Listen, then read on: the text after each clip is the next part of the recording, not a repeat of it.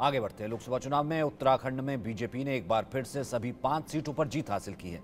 उत्तराखंड के मुख्यमंत्री पुष्कर सिंह धामी ने क्या कहा? सुनिए। मेरे साथ हैं देवभूमि उत्तराखंड के मुख्यमंत्री पुष्कर सिंह धामी जी।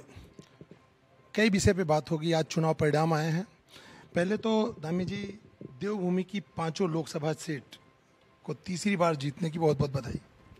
मैं देश की जनता का बधाई देना चाहता हूँ, उनको धन्यवाद करना चाहता हूँ कि उन्होंने आदरणीय मोदी जी को तीसरी बार प्रधानमंत्री बनाने के लिए एनडीए गठबंधन को अपना बहुमत दिया है अपना समर्थन दिया है मत दिया है।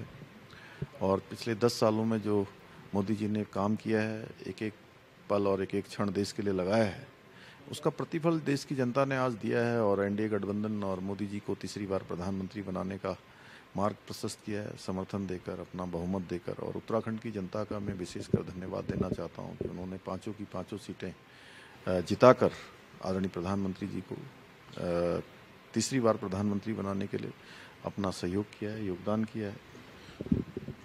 पाँच सीटें देवभूमि महत्वपूर्ण होती हैं और तीसरी बार हैट्रिक दिया है आपने करके। तो ये श्रेय किसको देना चाहेंगे?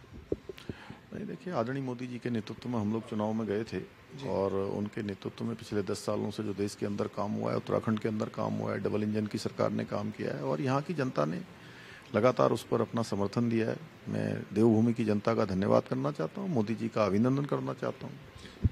चुनाव के समय आप लैंड जिहाद यूसीसी ये महत्वपूर्ण मुद्दे भी रहे इस प्रदेश के।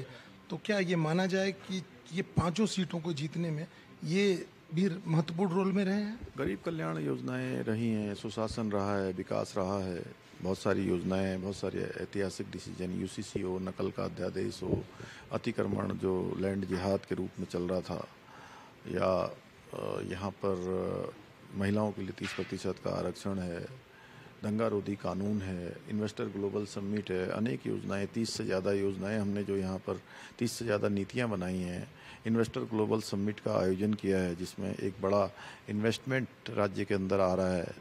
इकहत्तर, इक्यासी करोड़, इक्यासी हज़ार करोड़ की ग्राउंडिंग शुरू हो गई है।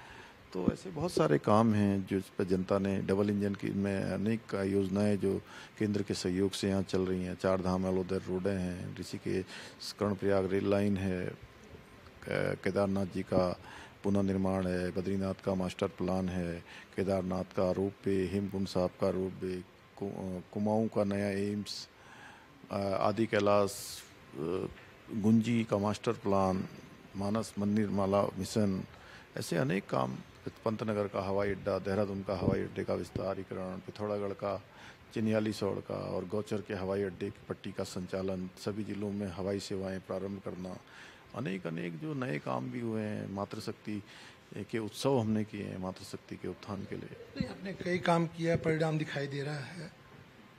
फिर से दोबारा डबल इंजन सरकार। तो कौन से ऐसे काम अभी रुके हुए हैं जो इस बार आपकी प्राथमिकता होगी? देखिए बहुत सारे काम यहाँ पर पहले से चल रहे हैं। कुछ हमारा जैसे ऋषिकेश कर्णप्रयाग रेल लाइन का काम तेज़ी से चल रहा है। अभी टनकपुर बागेश्वर रेल लाइन का काम होना है। पंतनगर हवाई अड्डे का अंतर्राष्ट्रीय हवाई अड्डे के रूप में विकास होना है, उसका विस्तार होना है, देहरादून जोली ग्रांट हवाई अड्डा है। ऐसे ही हमारे मास्टर प्लान है, गुंजी के मास्टर प्लान है, कुमाऊं गढ़वाल की कनेक्टिविटी है, शारदा कॉरिडोर बनना है, गंगा कॉरिडोर बनना है। ऐसे बहुत सारे काम हैं जो केंद्र के सहयोग से होंगे। जिस पार्टी को 40 से ज़्यादा सीट की उम्मीद नहीं कर रही थी, भारतीय जनता पार्टी 100 के आसपास जा रही है। तो क्या ऐसा महत्वपूर्ण उनके पास मुद्दा रहा जिसको लेकर के उस सौ तक पहुँच गए? देखिए अब चूँकि ये समीक्षा होगी तो कई सारी चीज़ें आएँगी लेकिन देश की जनता ने अभी बहुमत मोदी जी के नेतृत्व में एनडीए को दिया है।